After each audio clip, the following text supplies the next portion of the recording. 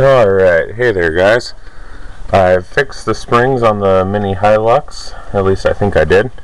Um, so what I'm going to do here is I'm just going to kind of test drive it. It's not waterproofed yet, so I'm going to stay out of some of the wet grass. Um, but yeah, I figured I'd take you guys along and we'd see how the new springs work for the first test drive.